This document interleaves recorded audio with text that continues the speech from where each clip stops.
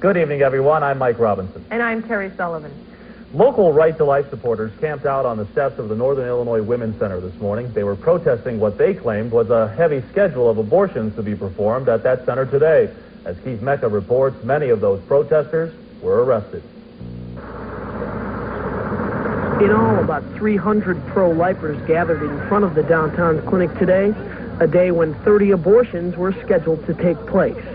In an attempt to place their bodies between the woman who would come to destroy her baby and the doctor who would perform that surgery for profit. The protesters claim the demonstration was non-violent, but the owner of the clinic has a different story. Seven people came up behind me and battered me, pushed me through the door, caught my hand in the door. I'm bleeding because of these violent people. My janitor is downtown right now with a police officer. He was battered. He's alleging, uh, and the janitor are both filing battery complaints. You know, we're conducting an investigation on those charges, and if uh, uh, the circumstances warrant, uh, then additional charges may be placed on uh, certain protesters. After getting inside the clinic, protesters blocked the entrance to the first and second floors. Officials say Webster then chained the doors shut, trapping the demonstrators inside. Officials removed the chains and started arresting the protesters. This is private property. Um, they can they, they cannot enter private property. They have to they have to uh, re, uh, maintain their picketing on public property. Police had to literally carry protesters out of the building. Placed on buses to go to the public safety building for processing. Protest organizers say they'll continue with these demonstrations in the future as long as abortions continue in Rockford. Keith Mecca, 13 Eyewitness News.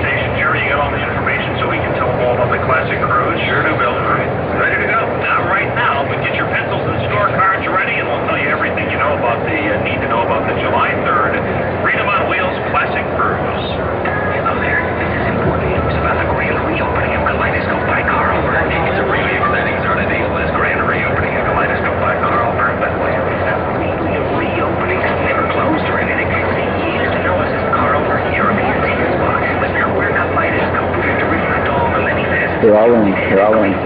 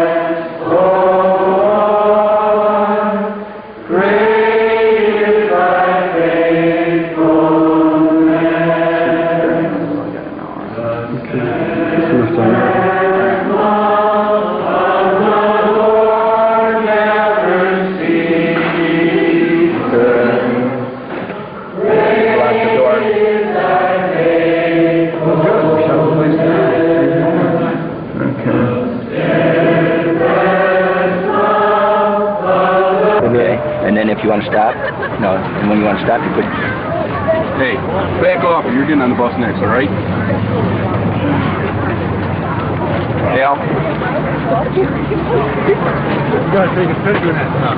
Yeah, right. Huh? We'll get on that. You know who Danny is. We'll know who he is.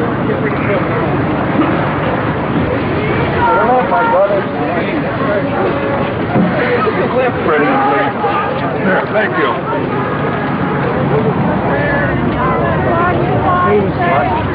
Hey, I see that on camera, that ticking.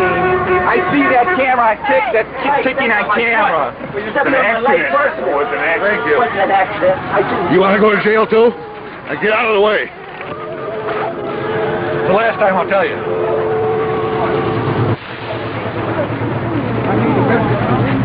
They told Getting a little upset now. Police are starting to kick people, step on people. A little aggravated. Early to get aggravated, I think. Somebody will get hurt if he stays around here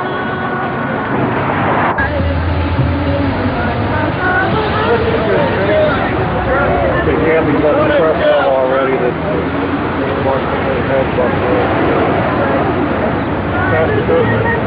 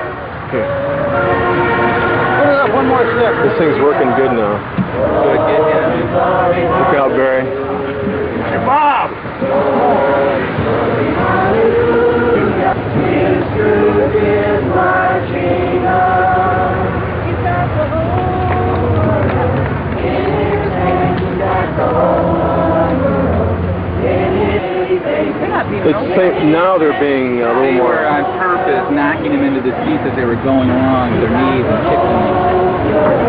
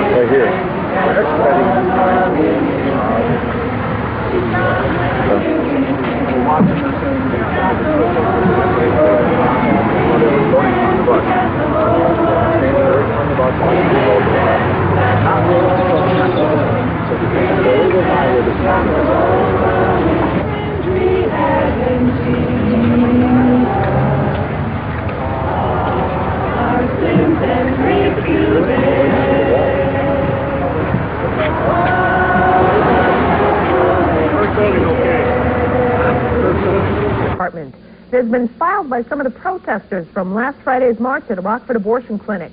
One of those arrested, Marcia Nyberg, claims she was dragged down steps, choked, and had her clothing unbuttoned by police. But a pro-life spokesman says the charges of police brutality do not reflect upon the entire department. The police department's internal affairs division is investigating. When we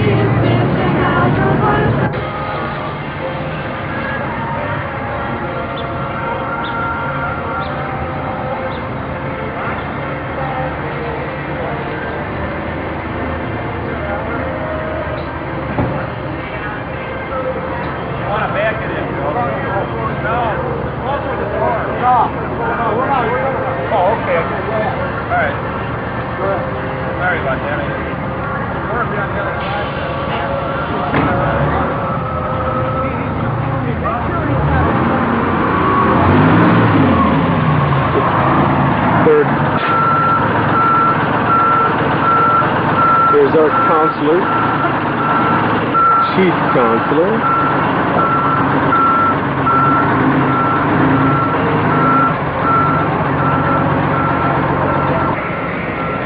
Mr. today arrested more than 70 pro-life demonstrators. Dave? Thanks, Audrey. Almost 200 abortion opponents staged a five-hour demonstration at the Northern Illinois Women's Center. Police arrested dozens of protesters who forced their way into the abortion clinic, blocking the entrance and stairwells.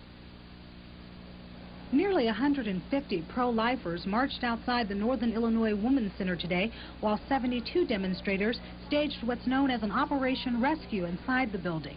The rescuers forced their way into the building and obstructed stairwells and the entrance to the abortion clinic. They are sacrificing themselves, as far as the law goes, to protect those lives, to put themselves, their bodies, between the woman and the doctor who would perform the abortion. Very nonviolent, very peaceful. They are not bullying. They are instructed not to speak to anyone. All they're doing upstairs is praying and they're singing. A confrontation ensued between the pro-lifers and the building owner when the rescuers entered the building, and each side has accused the other of physical abuse. The owner admits that he'd planned to hose the protesters with a truckload of raw sewage to prevent their entry, but he says he abandoned that tactic. They pushed me. Uh-huh. I was standing in a doorway. I was pushed out of the way. I pushed back. Then seven people jumped me, and like I said, I was the one that was battered. I did not initiate anything. Organizers say today's demonstration was not calculated to coincide with the expected vote by the U.S. Supreme Court today on a key Missouri abortion case, but rather they want to shut down the clinic on what is traditionally its busiest day of the week. Police arrested all 72 pro-lifers who resisted inside of the building, and as they were carted away to the police department on special city buses, the outside demonstrators watched and sang peacefully. Glory, glory, hallelujah. Glory, glory, hallelujah. His truth is marching on. To make sure no one's injured, we've been using portable chairs. Uh, and we're taking uh, great care to ensure that nobody is injured and that everybody's rights are protected. The clinic's doctor, Richard Ragsdale, says the protesters physically battered two of his female staff members, and he says the disturbance did temporarily halt his business. The protesters who were arrested were charged with criminal trespass to property and resisting arrest, and they were released on notices to appear in Winnebago County Court on May 5th. Sterling Benson, WIFR-TV, Action.